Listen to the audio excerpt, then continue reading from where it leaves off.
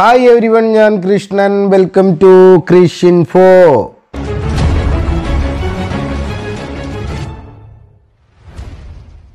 ഇന്നുള്ള ഈ ലോകം പുതിയ പുതിയ കണ്ടുപിടുത്തങ്ങളിലും ടെക്നോളജിയിലും ഭയങ്കര ഫാസ്റ്റായിട്ട് മുന്നോട്ട് പോയിക്കൊണ്ടിരിക്കുന്നുണ്ടെങ്കിലും ലോകത്തുള്ള എല്ലാ കാര്യങ്ങളെയും നമ്മളെ കൈക്കുമ്പിളിൽ എത്തിക്കുന്ന രീതിയിലാണ് നമ്മുടെ ഇന്നത്തെ ടെക്നോളജിയുടെ വളർച്ച. എന്നാൽ ഇന്ന് നമ്മൾ ഉപയോഗിക്കുന്ന പല വിഷയങ്ങളും പല നൂറ് വർഷങ്ങൾക്ക് മുമ്പ് ജീവിച്ച നമ്മുടെ പൂർവികർ കണ്ടെത്തിയതാന്ന് പറഞ്ഞു കഴിഞ്ഞാൽ നമുക്ക് വിശ്വസിക്കാൻ പറ്റുമോ? നമ്മൾ ഇന്ന് ഉപയോഗിക്കുന്നത് നമ്മുടെ പൂർവികർ കണ്ടെത്തിയതുമായ ചില വിഷയങ്ങളെ കുറിച്ചാണ് ഇന്ന് നമ്മൾ വീഡിയോയിൽ കാണാൻ പോകുന്നത്. സോ വീഡിയോ ആരും സ്കിപ്പ് ചെയ്യാതെ അവസാനം വരെ കാണാൻ ശ്രമിക്കുക. പറ്റുമെങ്കിൽ സബ്സ്ക്രൈബ് ചെയ്യുക.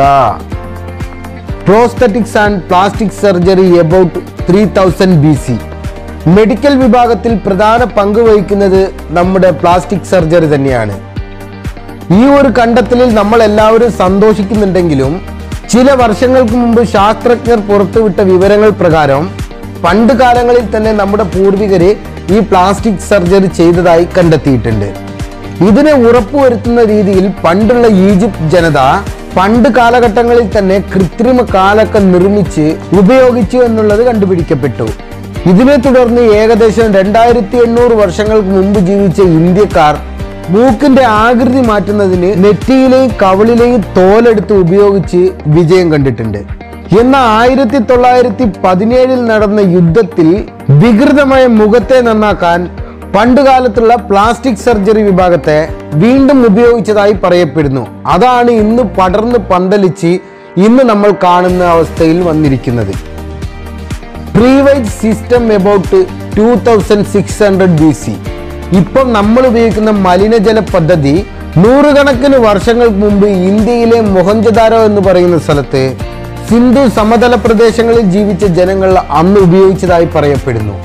ഇതിനുശേഷം മറ്റുള്ളവരും കോമൺ ബാത്റൂംസ് ഒക്കെ നിർമ്മിച്ച് നൂറുകണക്കിന് വർഷങ്ങൾക്ക് മുമ്പ് തന്നെ അവിടെയുള്ളവർ ഉപയോഗിച്ചതായി പുരാവസ്തു ഗവേഷകർ കണ്ടെത്തിയിരുന്നു.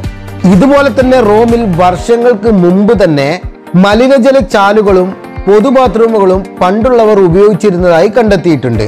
ഇങ്ങനെ വർഷങ്ങൾക്ക് മുമ്പ് കണ്ടെത്തിയ ഈ കണ്ടെത്തലുകളാണ് ഇന്ന് മോഡിഫൈ ചെയ്ത് നമ്മൾ ഉപയോഗിച്ചു കൊണ്ടിരിക്കുന്നത് battery about two thousand five hundred B C ഏറെക്കുറെ രണ്ടായിരത്തി അഞ്ഞൂറ് വർഷങ്ങൾക്ക് മുമ്പ് ബാബിലോണിയൻ എന്ന് പറയുന്ന സ്ഥലത്ത് ജീവിച്ചവർ പലനൂറ് വർഷങ്ങൾക്ക് മുമ്പ് തന്നെ ബാറ്ററി കണ്ടുപിടിച്ച് ഉപയോഗിച്ചിരുന്നു.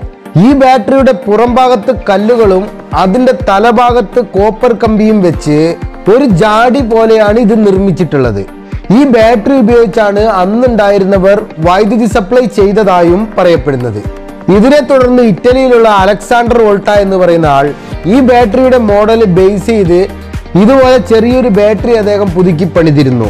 എന്നാൽ ഈ ബാറ്ററിയിൽ നിന്നും ചെറിയൊരു രീതിയിലുള്ള മാറ്റങ്ങൾ വരുത്തിയാണ് ഇന്ന് നമ്മൾ ചെറിയ രീതിയിലുള്ള ബാറ്ററികളൊക്കെ ഉപയോഗിക്കുന്നത്.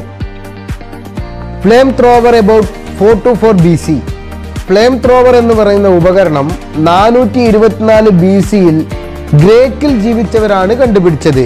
ഈ ഒരു ഉപകരണം പണ്ട് കാലത്ത് കപ്പൽ യുദ്ധങ്ങളിലൊക്കെ എതിരാളികളെ അറ്റാക്ക് ചെയ്യാൻ വേണ്ടി ഉപയോഗിച്ചിരുന്നതായി പറയപ്പെടുന്നു. ഇതന്ന് വലിയ രീതിയിൽ കോപ്പറിൽ നിർമ്മിച്ച ഒരു ഉപകരണമാണ്. എന്നാൽ ഇത് ഇന്ന് ഫ്ലെയിം ത്രോവർ എന്ന് പറയുന്ന പേരിൽ തോക്കിന്റെ ആകൃതിയിൽ നിർമ്മിക്കപ്പെട്ടിട്ടുണ്ട്. ഈ തോക്കിന്റെ ആകൃതിയിലുള്ള ഫ്ലെയിം ത്രോവർ ജർമ്മനിയിലുള്ളവരാണ് നിർമ്മിച്ചിട്ടുള്ളത്. Alarm about four hundred B C ഏകദേശം നാനൂറ് ബി സിക്ക് മുമ്പ് പ്ലാറ്റോ എന്ന് പറയുന്ന ശാസ്ത്രജ്ഞൻ വാട്ടർ ഘടികാരം ഒന്ന് കണ്ടെത്തിയിട്ടുണ്ട്. ഇതിനെ തുടർന്ന് ആധുനിക കാലഘട്ടത്തിൽ അതായത് എട്ടാം നൂറ്റാണ്ടിൽ ചൈനയിലുള്ളവർ ആധുനിക ഘടികാരം ഒന്ന് കണ്ടെത്തിയിട്ടുണ്ട്. എന്നാൽ പതിനഞ്ചാം നൂറ്റാണ്ടിന് ഇപ്പുറം എല്ലാ വീടുകളിലും ചെറിയ ഫോർമാറ്റിൽ ആധുനിക ഘടികാരങ്ങൾ ഉപയോഗിച്ചുകൊണ്ടിരിക്കുന്നു robot about three two three B C island of Paris എന്ന് പറയുന്ന സ്ഥലത്തുള്ള ഗോപുരത്തിന്റെ മുകളിൽ എതിരാളികൾ വന്നാൽ വിവരമറിയിക്കാൻ വേണ്ടി വലിയ അളവിലുള്ള ബെല്ലൊന്ന് നിർമ്മിക്കപ്പെട്ടിരുന്നു. ഈ ബെല്ല് പ്രവർത്തിപ്പിക്കാൻ വേണ്ടി റോബോട്ടിനെ അന്ന് ഉപയോഗിച്ചിരുന്നതായി പറയുന്നു.